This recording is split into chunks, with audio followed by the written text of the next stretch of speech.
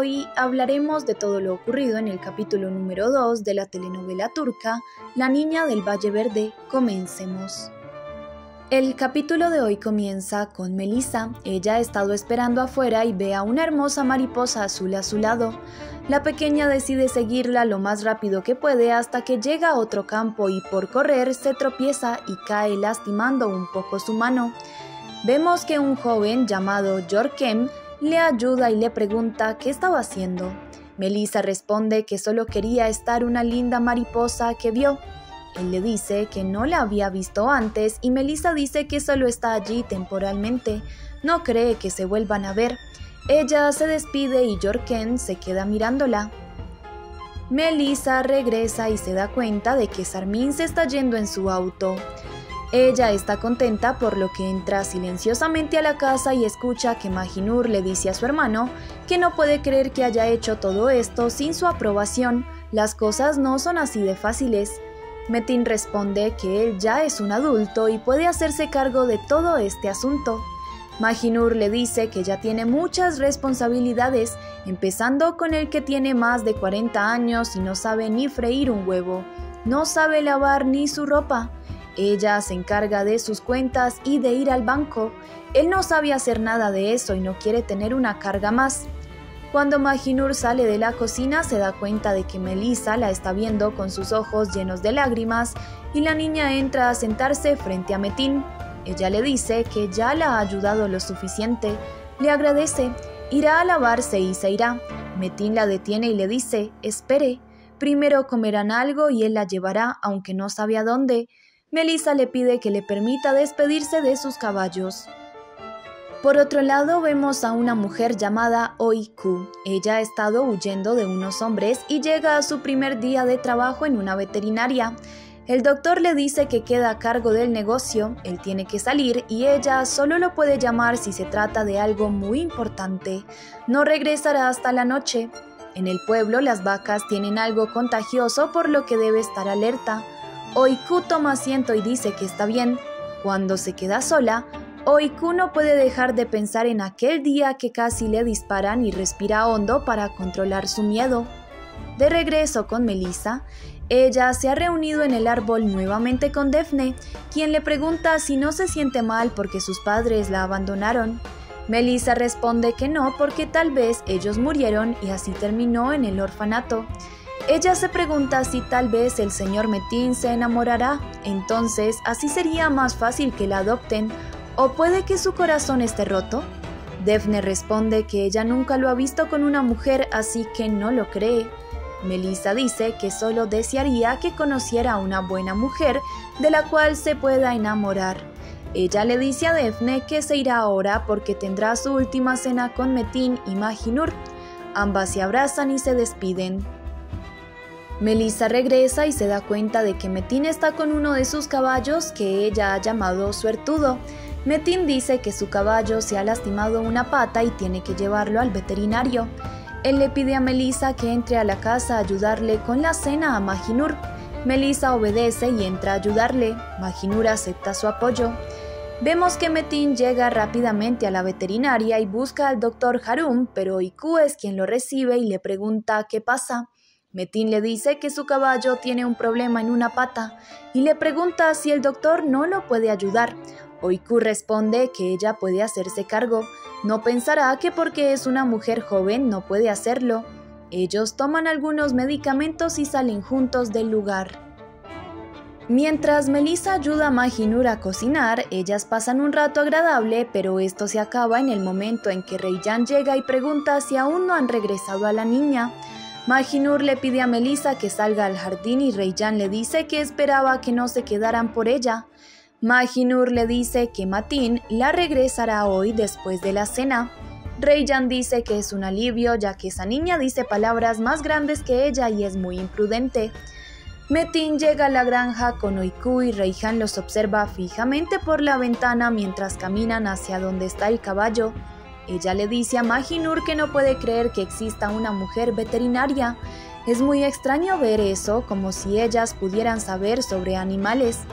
Majinur responde que cualquiera puede hacer lo que sea desde que haya estudiado y se haya preparado para ello. Reyyan dice que ya debe irse, espera que se lleven a esa niña hoy porque si no se quedará para siempre. Majinur le asegura que no será así. Oiku les dice que el caballo estará bien, solo no tienen que esforzarlo mucho. Mañana irá a cambiarle los vendajes. Melissa y Metin le agradecen. Reyyan ha observado a Oiku desde lejos y dice que no le da confianza. Encontrará todo sobre el pasado de esa mujer y ya verán. Oiku se despide y Melissa le dice a Metin que esa veterinaria sí que es muy linda y profesional. Metin sonríe.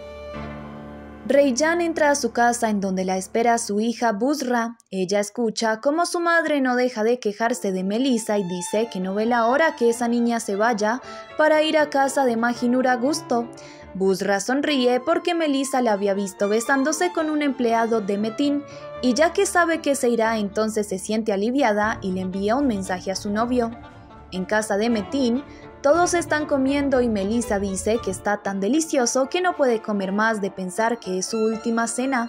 Majinur se pone de pie y le pide que cuando termine suba a empacar sus cosas mientras ella llama a Sarmin. En ese momento, Melissa corre a la cocina y mientras llora, lava los platos y les dice que ella sabe hacer de todo. Ordeñar una vaca, recoger los huevos, limpiar los pisos, hará todo lo que se pidan. Solo ruega que no la abandonen, solo quiere una oportunidad. Metin se acerca a ella, pero Majinur responde que algún día le agradecerá el dolor que está sintiendo ahora. No todo es tan fácil como ella lo cree, pero debe aprenderlo, así duela. Debe subir a empacar ahora. Metin le dice a su hermana que no lo hará, no la llevará, y menos ahora que es ya casi noche. Majinur le pide entonces las llaves del auto porque ella sí es capaz de hacerlo. Cae la noche y Melissa sube al auto. Majinur la lleva a la casa en donde la niña vivía y se da cuenta de que el esposo de la mujer le está gritando y golpeando. Majinur no puede soportar ver esto, por lo que decide permitir que Melissa suba de nuevo al auto. Ellas regresan a la granja en donde Melissa lo primero que hace es abrazar a Metin muy fuerte. Majinur les dice que no quiere escuchar ni una palabra ahora, está exhausta y en la mañana hablarán sobre esto. Al día siguiente, Majinur entra a la habitación de su hermano y le dice que estuvo pensando toda la noche. Metin sonríe y le pregunta si Melissa puede quedarse. Majinur responde que no, pero no puede permitir que el Estado la entregue a cualquier familia. Hablarán con servicios sociales y dirán que se quedará con ellos hasta que encuentren una familia apropiada que la quiera. Metin sonríe y le dice que es la mejor.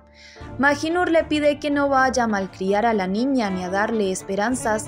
Poco después todos pasan a la mesa a desayunar y Metin le comunica a Melissa la decisión que han tomado. Melissa se siente contenta y se los agradece. Después de desayunar, ella se encuentra con Defne en el lugar de siempre. Defne está muy feliz de que Melissa se quede por más tiempo allí y le dice que si quiere puede mostrarle cómo es su escuela, seguro le encantará. Las dos se van corriendo hasta allá. Al llegar, Melissa dice que es un lugar increíble y le gusta mucho. Después, cuando regresa a casa corriendo, se disculpa porque fue lejos, pero cuando voltea a mirar, se da cuenta de que allí está Besime, la mujer que estaba a cargo de ella. La mujer les dice que ella es su tutora legal y no permitirá que se queden con esa niña sin ella obtener algo a cambio. El invierno se acerca e inicia la temporada escolar, por lo que tiene muchos gastos. Con 5.000 liras sería un buen comienzo. Majinur enojada le dice que ya tiene fotografías y videos de las heridas causadas por ella en la pequeña. Si no se va ahora mismo entonces llamará a la policía. Besime nerviosa dice que se irá por ahora, pero las cosas no se quedarán así. Melissa le pertenece e irá por ella. Melissa se disculpa con ellos por los problemas que les hace pasar, pero Majinur le pide que no se disculpe y que se prepare para comer. Metin sale un momento a tomar aire mientras escucha un poco de música clásica que es su favorita. Él ve llegar a lo lejos a Oiku y la lleva donde está suertudo el caballo. Ella termina de revisar su pata y les dice que todo va muy bien. Melissa mira que Uiku tiene un llavero de Estambul y le pregunta si ella viene de allí y si la ciudad es tan hermosa como lo ha visto en imágenes. Uiku responde que sí, estudió allí y es una hermosa ciudad. Vemos que ella recuerda las cosas malas que hizo para haber huido de allí. Unos hombres la buscaron en su veterinaria para curar a un delincuente que había sido herido. Oiku les dice que ya deben irse y Melissa le dice a Metin que espera poder completar sus estudios algún día para poder ser una veterinaria también. Metin dice que es cierto y le pide que se lo diga. Ellos corren al invernadero en donde está Majinur y Metin le dice a su hermana que estaba pensando que podían inscribir a Melissa en la escuela. Las clases inician mañana. Majinur responde que deberían preocuparse mejor por Besime, pero está bien. Irán a inscribirla y el registro oficial lo harán después. Melissa muy contenta la abraza y les agradece. El capítulo termina con Reijan y su hija Busra. Ellas están en casa de Majinur visitándola y Reijan no deja de hablar mal de Oiku. Le dice que estuvo investigándola y la chica es muy extraña. Llegó a ese pueblo como queriendo huir de la ciudad y no entienden por qué es como si estuviera ocultando algo. En ese momento llega Melissa y la saluda. Reijan no tiene vergüenza y comienza a decirle a Majinur que por lo visto no ha sacado a la huérfana de su casa. Debería tener cuidado ya que conoce a las de su clase, usa las cosas que no le pertenecen y come toda la comida. Ella insulta a Melissa a tal punto que la niña se pone de pie y le grita que es la mujer más malvada que conoce. ¿Cómo se atreve a decir todas esas cosas sobre ella? La odia y después sale corriendo. Majinur le pide que regrese y le dice a Reijan que hará que Melissa se disculpe con ella, pero también debe reconocer que no dijo cosas buenas. Rey Jan se siente ofendida y dice que ella no ha hecho nada malo, al parecer esa niña la está cambiando y lo mejor será irse. Ella sale de casa con Busra. Espero les haya gustado este adelanto, no olviden suscribirse y activar la campanita de notificaciones para que no se pierdan ninguno de nuestros próximos videos. Gracias.